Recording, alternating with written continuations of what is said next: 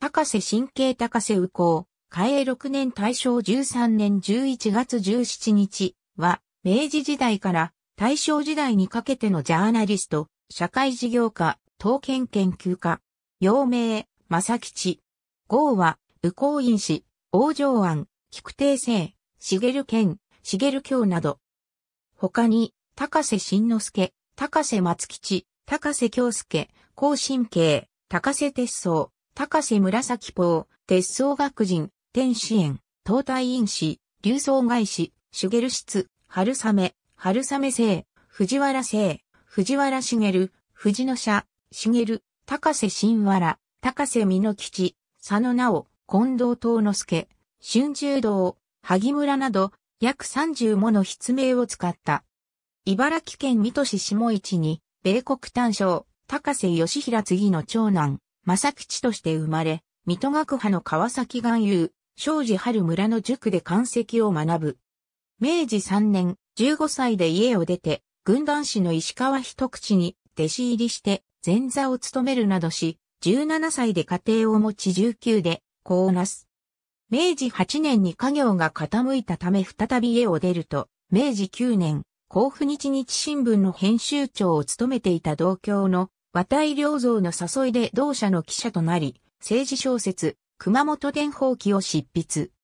明治10年、甲府日日編集長として、新聞条例14条違反で、禁獄50日を課せられ、翌明治11年には、仙台日日新聞の編集長として、宮城県令、宮城時助を誹謗したとして、禁獄30日を命ぜられる。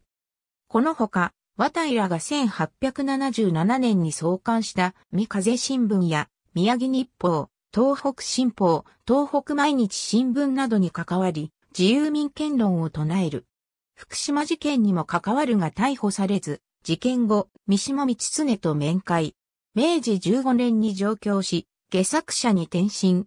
菊亭生などの名で、数十の版本を物しぼっかっちょの日本語訳も手掛ける。書店も経営したが失敗し、老夫も本の行商をするなどして、一家九人を支えた。明治17年、漢歌修身団を表したことが縁で監獄の教会士となる。もともと説教や講演が好きで、一時、講談師の内弟子として各地を巡業したこともあって弁が立ち、人気教会士となった。刑期を終えて出国した少年を頼まれて預かったのを、皮切りに明治18年10月9日、湯島の寺に日本最初期の寛化院、私立予備寛化院を創設、田中光明の意を預かったことから寄付金を得ると、駒込明物町に新築移転、翌年神宮教から資金援助を受けて、神宮教員寛化院、東京寛化院と解消し委員長を務めた。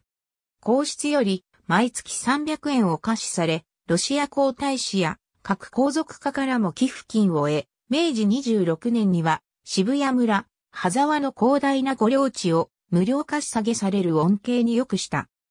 明治30年、東京学士保管会社を設立し、専務取締役社長に就任、学生が使い込んで優等しないために、府警から直接学費を預かり、修学先への支払い代行の他学生の監督と進路手配などを行うと趣旨に歌い、賛同した発起人や評議員には、今村聖之助、渡辺幸喜、松平正直、園田康方らが名を連ねた。刀剣研究家でもあり、明治43年10月には雑誌、刀剣と歴史創刊。版元は、羽沢文庫から日本刀剣保存会へ移行するなど一時期、休刊はあったものの、現在も刊行中である。また、石器、土器の研究者でもあり、坪井正五郎らが1886年に設立した東京人類学会の古い会員でもあった。考古学者として初の文化勲章を受章した末永正夫は少年の頃家を出て高瀬から刀剣鑑定術や歴史を学び考古学に初めて触れたという。末永は高瀬から水戸学の大義名分論を厳しく叩き込まれ先生は常々、水戸学の真髄は、大義名分を重んじることであると言い、割が悪いとか、割に合わないといったことは、最も戒めるべきことと学んだと述回している。一方、黒岩類公は高瀬を世間を欺く大偽善者と批判し、寛解院を利用した錬金術や贅沢な指定、高瀬が非化した女性たちの詳細を満長法で報じた。自世の句を残して71歳で没した。根が、白は、今10年、マリヒサジラへて霊霊移りゆく、世の様を見ましや小山松吉は16歳下の実定で、日本の法学者、司法官僚、政治家。その次女の子息に、山下洋介がある。右近は、妻子の他に、複数の女性を囲い、50歳の時に、柳橋の芸者置屋の従業員をしていた大塚園16歳と知り合うと、大塚静子ら婚外子を設けた。静子は17歳で働き始めた。中央公論者で、猪俣綱夫と知り合い結婚、死別後、高野実と再婚し、高野武史、津村隆を設けた。小山松吉の長女豊子は叔父である高瀬の下で暮らし、1930年に、関下院の敷地内にあった高瀬邸から嫁いだ。小山の次女の菊代によると、大正初め頃、高瀬邸の広い庭で、書生たちが巻き藁で刀の試し切りをしているのをよく墨の型で見学したと言い、高瀬は合法来楽な人で、昼間からよく酒を飲み、書生たちに号をつけて、それで呼んでいたという。高瀬が1885年に東京本郷区湯島省、青具院内に予備寛解院を開いた前年には、大阪の池上幸恵が、新東祈祷省を施設寛解院にしており、池上と高瀬を皮切りに、1880年代には民間の寛解院の設立が相次いだ。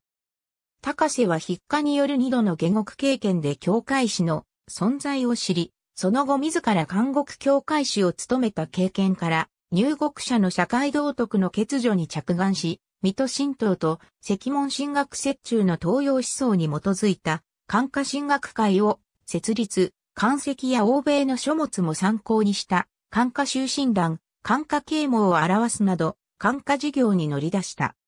予備管化院は、翌1886年に神宮教員管化院、東京管化院と解消を重ね、1889年には本郷区駒込明坊の町に移転し、生徒寮等を新設。1893年には渋谷羽沢の御領地9000坪を40年間無料で借用できることになり、移転して生徒寮を新設した。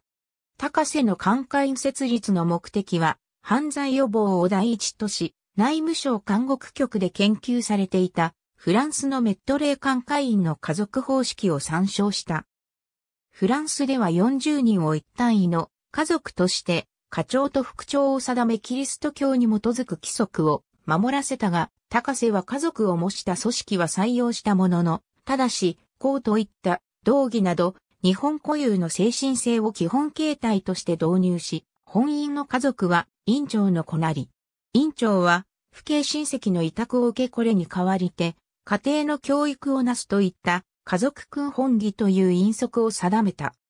5から10名程度の生徒の中から、長子を高級のものとして重視する家族を生活の単位とし、それぞれの家族間に等級をつけ、服装、書籍の閲覧、親族との交流などの待遇に差を設けた。